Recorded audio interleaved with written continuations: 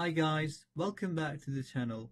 In this video I will be covering receptors from the A-level biology curriculum. So let's begin. So first looking at the definition of a stimulus. So a stimulus is a de detectable change in the environment. So uh, this there's a number of changes that could happen. For example, a pressure change or it could be a change in the light intensity and receptors would only respond to a specific stimuli. So there are different receptors for different stimuli. For example, for light, you'll have the photoreceptors. For pressure changes, we could have baroreceptors. Uh, for chemical changes, we could have um, chemoreceptors.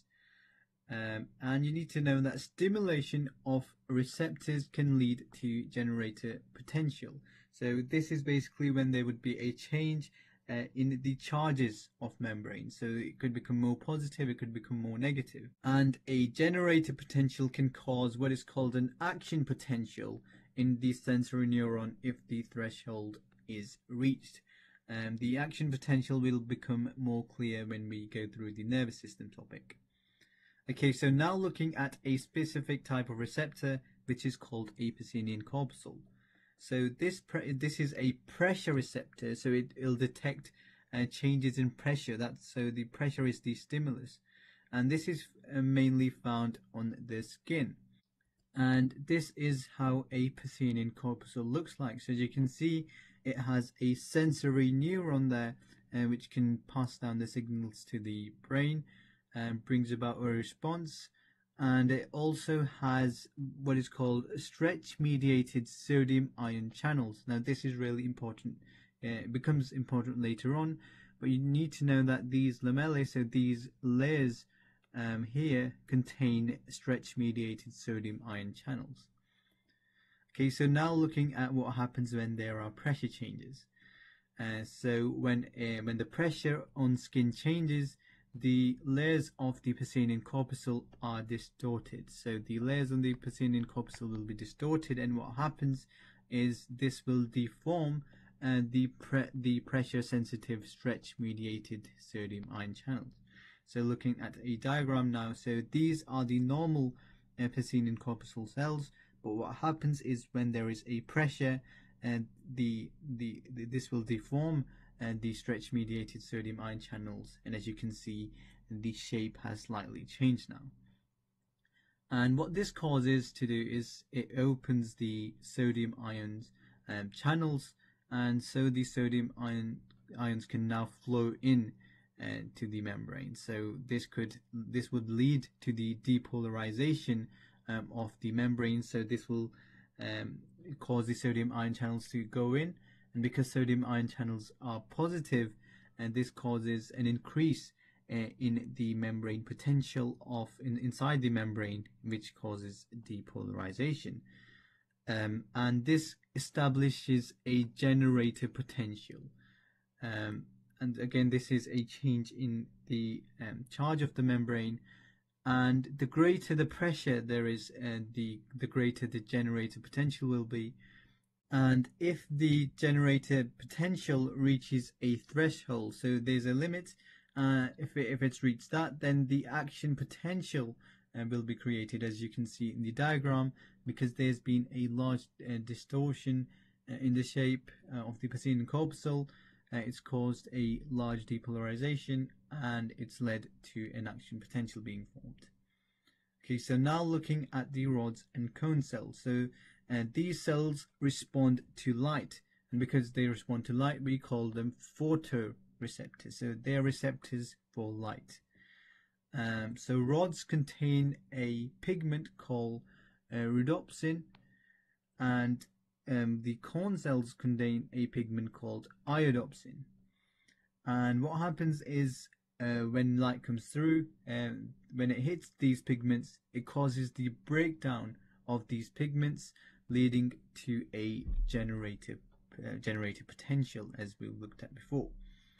Okay, so now just looking at the overall structure of the eye, you don't really need to know any any parts of the eye, but it's helpful uh, for this topic, um, and particularly just the retina. So retina is that layer at the back of the eye, and you also just need to be aware of fovea. So fovea is located in the retina, and this is where uh, most of the light um, goes to. So as you can see in this diagram, so as the light is uh, passing by, um, it gets shined into that fovea, so that little spot.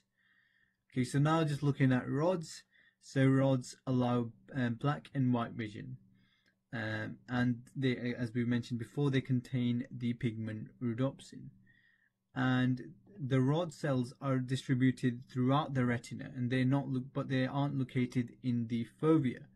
So looking at a diagram to show where they're located, as you can see, and that this is the fovea, and there's no rods found there, uh, but they're distributed elsewhere except the blind spot, which we'll look at later on. Okay, so you need to be aware that rods are very sensitive to light.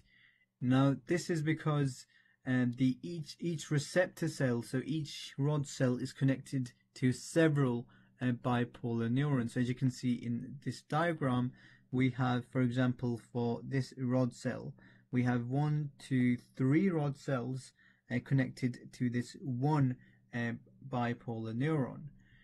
Um, and what this does is it causes summation of generator potential. So it basically adds the general the generator potentials together, uh, so that the threshold can be reached, and so that the action potential uh, is established. And this is called retinal convergence. Uh, but because of this, there's low visual acuity. Uh, so because of because these several rods are connected to one bipolar neuron, what this means is the brain can't distinguish uh, between uh, the, the, the the separate light sources. So, for example, uh, if the light was coming there and it hit this uh, rod cell, and if it if the light was coming from there, it hit that rod cell, then the brain would think they will be the same because it's at the end of the um, at the end of the rod cell they are being connected to this same bipolar neuron. So looking at what this may mean, so you can see, see here that these two dots are different. But because of this low visual acuity, and the brain might think that they are basically these same dots. Okay, so now looking at the cone cell. So these these cone cells allow colored vision. So where the rod cells allowed uh, the black and white vision, these cone cells allow colored vision. These cone cells have three receptors. So they have the red receptor, the green receptor, and the blue uh, receptors. And they have the photopigment iodopsin, as we've mentioned before. Uh, and they're mainly present in the fovea. So again, if you're looking at that diagram, so as you can see, we have the fovea here, and they're present in large amounts, whereas elsewhere there's very little uh, of the cone cells. Cones have high visual acuity. Um, now, this is because one cone receptor is only connected to one bipolar neuron. So, looking at this diagram, so you can see, uh, one um, cone receptor is only connected to another uh, bipolar neuron. Uh, so, as we saw in rod uh, cells, there was there were several uh, rod receptors connected to one bipolar neuron. That's why they had low visual acuity. Uh, now, because of this, the fact that only one receptor is connected to one bipolar neuron, the brain is able to distinguish between the light sources, and that's why it has high visual acuity.